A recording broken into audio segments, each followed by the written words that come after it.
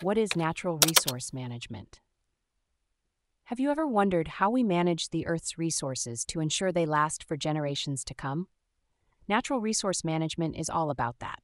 Natural resource management involves the careful handling of resources like land, water, soil, plants, and animals.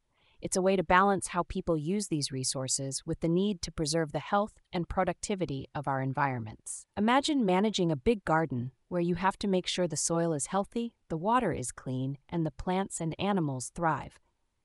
It's similar, but on a much larger scale. This management includes activities like land use planning, water management, biodiversity conservation, and the sustainable operation of industries such as agriculture, mining, and forestry. For example, in the United States, natural resource management is active in areas like fisheries management, wildlife management, and forest management. In Australia, managing water resources, like the Murray Darling Basin Plan, is a significant focus. To prevent the depletion of these resources, we can take several steps. Reducing, reusing, and recycling are simple but effective actions. Volunteering for conservation efforts, educating others, and conserving water are also important. Choosing sustainable products, controlling hunting, and preventing invasive species are other ways to help. Community based natural resource management is another approach.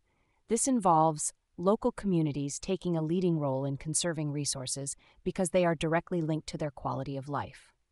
In places like Nepal and Indonesia, community forestry programs have been successful because they involve local stakeholders in the decision making process. Natural resource management also considers the economic and social aspects.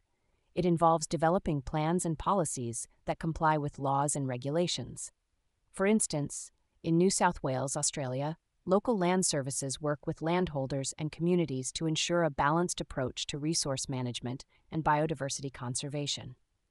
Overall, natural resource management is about ensuring that we use the Earth's resources in a way that benefits both people and the environment, now and in the future. It's a complex but essential task that requires careful planning, community involvement, and a commitment to sustainability.